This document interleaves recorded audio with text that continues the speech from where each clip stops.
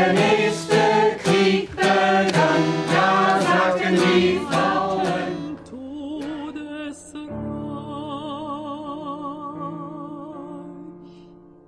Heute, fast auf den Tag genau vor 45 Jahren, trafen sich zahlreiche Menschen aus Ostwestfalen-Lippe und darüber hinaus hier am Gräberfeld des sowjetischen Soldatenfriedhofes in Stukenburg. Zum mahnenden Gedenken, wie es im ersten Aufruf hieß.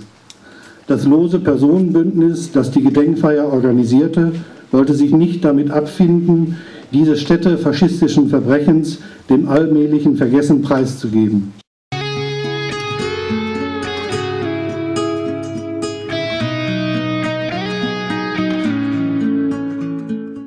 Der Antikriegstag findet zum 45. Mal in der Senne am Gräberfeld des sowjetischen Soldatenfriedhofes in Stukenburg statt. Gerne gebe ich jetzt das Mikrofon an den Kollegen Michael Sommer weiter.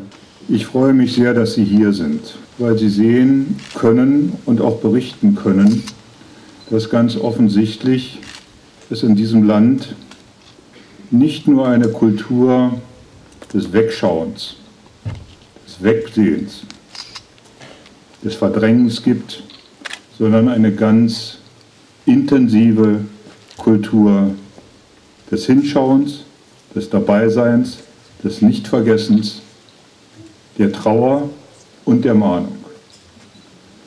Und was mich besonders freut, ist, dass unter uns Teilnehmerinnen und Teilnehmer eines von der Gewerkschaft Jugend organisierten Zeltlagers ist, das sozusagen diese Tradition wachhält und ich bin wirklich stolz darauf, derzeit Repräsentant einer Bewegung zu sein, die sich eins nie vorwerfen lassen muss, nämlich dass wir nie an der vordersten Stelle gestanden hätten im Kampf gegen Krieg und Faschismus.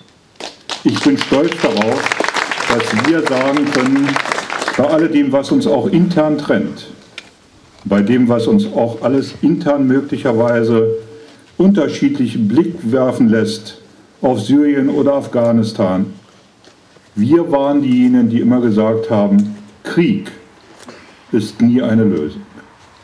Und wahrscheinlich deshalb, weil wir natürlich erfahren haben, dass zum Schluss die Völker gegeneinander in Kriege geführt wurden aber die Völker nie die Feinde waren, sondern die Völker für andere die Kastanien aus dem Feuer holen mussten und zum Schluss immer es die Arbeiterinnen und Arbeiter, die kleinen Leute waren, die die Zeche bezahlt haben, den Blutzoll bezahlt haben und die Kriege bezahlt haben.